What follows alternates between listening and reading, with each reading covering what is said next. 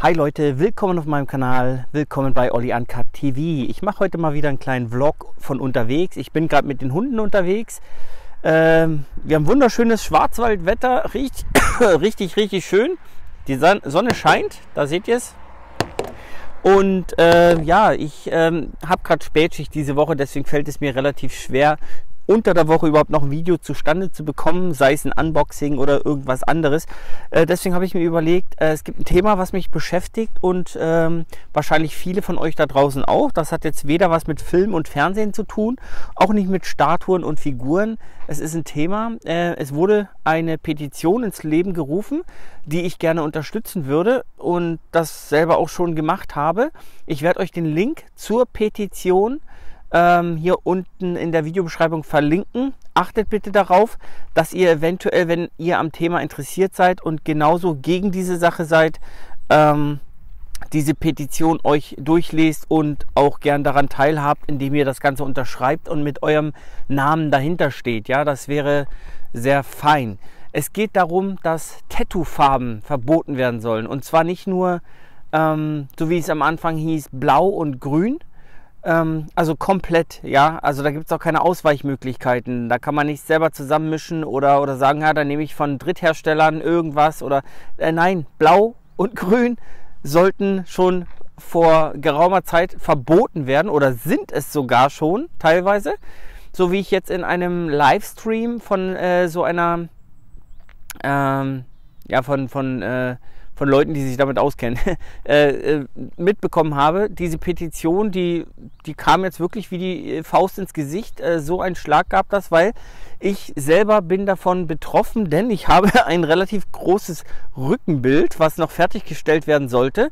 Und zwar farbig. Ja, ich bin keiner, äh, kein Fan von Black Gray Stil, den es ja in der YouTube-Welt gibt. Ja, sieht zwar alles schön aus, aber ich bin dann eher der bunte Kamerad, der, der jetzt auch gerne mal blau, rot, orange, grün und so weiter äh, zum Einsatz gebracht hat oder besser gesagt sich damit ähm, ähm, äh, ja, farblich gestaltet hat lassen. Ja, also ich habe einen Tätowierer meines Vertrauens oder eine Tätowierstube meines Vertrauens. Da gehe ich seit vielen Jahren hin und bin auch schon, also der eine oder andere kennt mich ja, äh, ich bin nicht wenig tätowiert und für mich ist das, ähm, ist das jetzt kein, kein äh, ja, wie soll ich sagen, ja, kann man mal machen und wenn es wegfällt, ist es halt so. Es ist wirklich so, dass ich, dass ich, dass ich das wirklich äh, nicht nur vermissen würde, wenn es da auf einmal keine bunten Tattoos mehr gibt, sondern dass ich das regelrecht äh, in, in Frage stellen möchte. Ja? Deswegen jetzt hier mein kurzes Video. Das wird jetzt kein langes Ding, aber ich habe gedacht, ich nutze die Zeit jetzt einfach mal bei dem schönen Wetter. Ähm, oh, Viechzeug. Ähm, ja, wie gesagt, es geht darum, dass ähm, sich irgendwelche Leute ausgedacht haben, Richtlinien und Grenzwerte festzusetzen äh, von den Inhaltsstoffen dieser Tattoo-Farben. Und da gibt es jetzt mittlerweile jetzt nur noch drei Hersteller. So, also ich mache das jetzt aus dem Kopf. Ich habe hier kein Skript, aber ich habe mir alles vorher noch mal kurz durchgelesen. Ähm, deswegen gebe ich euch hier ein paar Sachen weiter. Es kann sein, dass die eine oder andere Sache nicht ganz äh, passt, aber das könnt ihr dann in der Petition selber ähm, durchlesen. Also es gibt jetzt mittlerweile, so habe ich äh, festgestellt, drei, oder habe ich so äh, festgehalten, drei Hersteller, die schwarz herstellen können und einer davon hat noch irgendein Weiß. Das war's dann, ja. Also schwarz und weiß. Am Anfang hieß es blau und grün seien dann irgendwann verboten. Ab dem 4. Januar 2022 übrigens. Ja, das ist jetzt bald. In dem Vierteljahr ist es soweit. Und ähm, ich äh, habe jetzt in dieser Petition gelesen, es geht jetzt nicht mehr nur um Blau und Grün, was schon schlimm genug ist, weil mit Blau und Grün machst du einiges. Ja, das sind wichtige Farben in der Tattoo-Welt. Äh, mittlerweile sind auch Magenta, Violett, Orange, Gelb, alles, alles verboten. Wird dann verboten sein. Oder ist es schon? Ich bin mir nicht sicher. Ähm, auf jeden Fall, ob es das jetzt schon ist oder erst in drei Monaten, sei mal dahingestellt. Äh, es ist sowieso so, dass man bei namenhaften und ähm, Tätowierern, die was auf dem Kasten haben, so wie bei meinen Leuten zum Beispiel, da ist es sowieso so, dass du, dass du da ein halbes Jahr äh, bis noch länger wartest auf einen Termin. Ja, von dem her, das sind namenhafte Leute, die schon einige auch Preise abgeräumt haben auf Conventions in dieser Tattoo-Szene. Und ich selbst war schon mehrfach auch, äh, das ist eine große Ehre für mich, in verschiedenen Tattoo-Magazinen verewigt äh, mit meinen Bildern, die ich äh, dort mir habe stechen lassen. Und ich bin, ähm, ich bin jemand, der, der nimmt sowas schon dann. Nova, komm! Nova ja, ich nehme sowas dann schon ernst. Ja, also ich äh, bin jetzt nicht so jemand, der sagt, ja, dann ist es halt so, obwohl ich manchmal in manchen Sachen schon so ein bisschen gleichgültig bin, wenn irgendwelche Gesetze verabschiedet werden von Leuten, die davon gar keine Ahnung haben. Und ich glaube, in diesem Fall ist es so, weil ich habe mir jetzt bei diesem Livestream nochmal angehört, äh, wie das Ganze zustande kam. Da wurden Tattoofarben ähm, wurden äh, eingestuft, ob sie jetzt medizinische Zwecke erfüllen oder kosmetische Zwecke. Und beide Seiten wurden nicht ähm, der Tattoo-Farbe eingestuft. Also äh, Tattoo-Farbe ist weder kosmetisch noch äh, medizinisch eingesetzt, sondern äh, erfüllt andere Zwecke. Es wurden aber äh, Werte benutzt, die der medizinischen und der kosmetischen ähm, Richtlinien entsprechen sollen. Ja, also das ist so eine Sache. Medizinische Zwecke erfüllen Tattoo-Farben nicht, weil sie keine heilende Wirkung erzielen und ähm, kosmetische Zwecke nicht, weil Kosmetik, ähm, ich sage jetzt mal, Kosmetik ist äh, meistens so zu halten, dass sie, dass sie für einen gewissen Zeitraum ähm, ja, aufgetragen wird, und dann wieder vergänglich ist. Ja, und das ist bei Tattoofarben natürlich nicht so. Das ist Farbe, die unter die Haut geht und äh, dann mehr oder weniger, ja, je nach, je nach Tiefe, Eindringtiefe, ähm, dann für immer. Ja, es heißt ja auch, äh, Tattoos sind für immer. Ähm, es gibt da zwar äh, Methoden, um das Ganze wieder ähm, löschen zu lassen, ja, äh, Lasertechnik und so weiter, ja, oder diese, diese, diese, wie heißen die Dinger?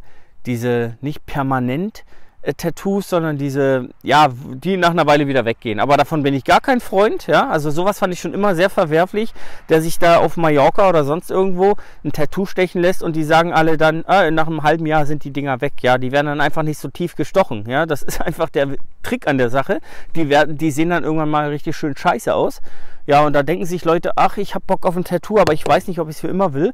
Äh, hier, was weiß ich, äh, Sebastian und Sonja forever. Ja, und äh, nach zwei Tagen ist Schluss und dann denkst du dir, ha, äh, Gott sei Dank ist das nach einem halben Jahr wieder weg. Ja, das ist nicht weg. Ja, das ist immer noch in der Haut. Die Narbenbildung äh, die wird wahrscheinlich vorhanden sein und äh, es wird man immer so einen kleinen Schein, so ein Schimmer wird drüber stehen, äh, auch wenn die Farbe sich langsam auflöst, weil sie nicht tief genug gestochen ist. Ja, das, das kannst du dann ähm, kannst du dann nicht sehen als als äh, so äh, möchte gern Tattoos, ja, und wehtun tut's genauso, sage ich jetzt mal so, ja, für alle, die jetzt gedacht haben, ha, sowas mache ich, weil dann tut's vielleicht nicht so weh, ja, da, da haben ja auch viele ein bisschen Bammel vor, aber ich muss ganz ehrlich sagen, Tattoos haben sich in der heutigen Kultur so weit etabliert. Ja, das war ja mal äh, kulturell anzusehen, Tattoos. Ja, äh, das hat, das hat mal, was weiß ich, das ist ja schon Jahrhunderte alte Tradition, äh, Tattoos. Ja, ähm, damals wurde es natürlich noch anders äh, verwirklicht, diese Farbe unter die Haut zu bringen.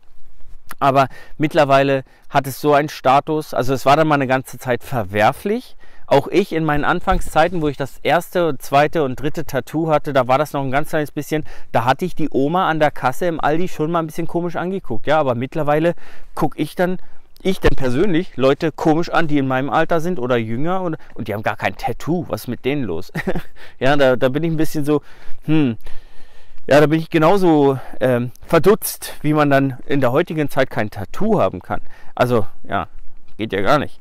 Nee, aber jetzt mal ernst, also bleibt er jedem immer noch seine selbe, also seine eigen, eigene Meinung, ja, und, und seine freie Entscheidung steht dahinter, ob man sich jetzt ein Tattoo stechen lässt oder nicht. Aber die Petition, die würde jetzt viel bringen, dass die Tattoos dann auch gern mal bunt sein dürfen, ja, weil viele Tätowierer haben sich eben spezialisiert.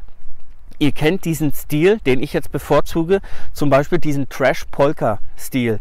Trash Polka, das bedeutet, man ähm, benutzt schwarze Farben und verschiedene Grautöne und dann noch ein schönes saftiges Rot, ja, zum Beispiel. Und damit damit macht man mehr oder weniger abstrakt, aber dann auch wunderschön gestaltet und schön gestochen. Sieht das Ganze fantastisch aus, ja. Dieser Trash-Polka-Stil gefällt mir persönlich sehr gut. Dann dieser Real Realistic-Stil, ja. Ähm, da muss ich sagen, Schwarz-Weiß-Bilder gehen meistens schon klar, ja. Also da kann man noch diese noch erlaubten Schwarz- und Weiß-Töne benutzen, die Farben aber ich bin mir nicht sicher, ob, ähm, wenn man so diese richtige Realistik einsetzen möchte, also mit Hauttönen und so, das haben ja manche Tätowierer auch drauf, äh, dann braucht man auf jeden Fall verschiedene Orangetöne, Rottöne, ähm, eventuell auch Grün und Blau, um die Schattenbildung schön darzustellen. Ja, es ist nicht so einfach und ich bin der Meinung, diese Grenzwerte und Richtlinien, die da einzuhalten sind, die sind nicht reali realisierbar in den nächsten Jahren. So habe ich das halt nachgelesen und so plapper ich jetzt nach. Ja, ihr wisst, ich bin kein Mensch, der sich jetzt groß äh, schert ähm, um, um jetzt äh, diverse Gesetze, die verabschiedet wurden oder werden sollen von Leuten, die gar keine Ahnung haben. Ja, also diese Leute, die sowas verabschieden, solche Gesetze verabschieden und äh, solche Sachen vorhaben. Ich wette, die haben 0,0 Tattoos, ja, und die sagen auch einfach, pff, ja, machen wir einfach so, weil es gibt da jetzt Richtlinien, es gibt da Grenzwerte und sobald man die nicht äh, einhält, ist das Ganze verboten und fertig. Unterschreiben, wer ist dafür? Ja, alle, ja, okay, tschüss. So, aber ihr müsst jetzt mal die besondere Situation und die besondere Schwere der Situation auch ähm, beachten wir haben jetzt das zweite Corona-Jahr, ja, das zweite Corona-Jahr. Und ähm, ich weiß, dass Gastronomie, Einzelhandel und solche Zentren für kosmetische Veränderungen am Körper, dazu zähle ich jetzt mal Tätowierer und auch aber ähm, Friseure und Massage, Anstalten, was weiß ich, wie, wie man die nennt, ja. Das zählt ja alles dazu. Ich muss aber dazu sagen, Tätowierer sind bei dieser Sache viel zu kurz gekommen, ihre Läden wieder öffnen zu dürfen, obwohl, und da möchte ich jetzt noch einen, einen ganz großen Punkt ansprechen, obwohl beim Tätowierer, also alle, die ich kenne, ja, das sind nicht diese verruchten, verrauchten, äh, mit leeren Whiskyflaschen äh, bis an die Decke hochgestapelten Bruchbuden, wie man sich die früher mal vorgestellt hat. Nein, es sind sowas von hygienische Läden. Da, wo ich hingegangen bin, vor allen Dingen mein Tattoo-Studio meiner Wahl, also das ist die äh, übrigens die, die Brigobanne Tätowierstube in äh, Hüfingen, ja. Da gehe ich seit Jahren hin. Ich weiß, dass die Leute sowas von mega hygienisch vorgehen, dass nach jedem Arbeitsgang, nicht nur nach jedem, nach jeder Person wird da alles grundgereinigt. Nein, auch wenn man mal eine kurze Pause braucht, also entweder als Tätowierer oder Tätowierter, also als Kunde, ja, dann, dann, dann wird da alles absolut sauber wieder gemacht. Äh, mit mit äh, Desinfektionsmittel wird da nicht gespart. Ähm, es ist viel hygienischer als bei jedem, äh, was weiß ich, bei jedem Edeka, die die ganze Zeit aufhaben durften. Zum Beispiel, ja ähm, Einzelhandel und so weiter. Einzelhandel ist halt, es, es wurden viel früher Einzelhandelsgeschäfte wieder eröffnet, die nicht lebensnotwendig sind. Ja? Und auch Friseure dürften Tätowierstuben äh, oder Tätowier, äh, Tätowierer dürften noch nicht öffnen. Und jetzt müsst ihr euch mal vorstellen, das zweite Jahr. Ähm, ich weiß von sieben Monaten, es könnten aber mittlerweile auch viel mehr gewesen sein, dass meine Tätowier Stube, mein Tätowierer des Vertrauens, ähm, seine Läden, seinen Laden komplett dicht machen musste. Sieben Monate lang. Ähm, er hatte mehrere Angestellte. Wie sich dieses Angestellten und an äh, und, und Chef und, und Angestellter Verhältnis ergeben hat mit Lohnfortzahlungen oder ob die alle äh, ähm, auf eigene Kappe äh, tätowiert haben, das weiß ich nicht. Da stehe ich jetzt nicht dahinter, das weiß ich nicht. Aber ich weiß, sieben Monate, kriegt ihr mal sieben Monate gar kein Geld. Ja? Und äh, anderen werden Hilfen zugesprochen vom Staat und der Tätowierer geht einfach leer aus. Man hat ja nicht nur keine Einnahmen, man hat ja noch die Mietkosten für das Gebäude, wo man das Ganze stattfinden lässt. Das sind ja nicht diese eigenen Kellergewölbe oder ähm, im eigenen Haus oder irgendeine Rockerbar oder sonst was, wie, wie sich das die, wahrscheinlich die Politiker so vorstellen, ja?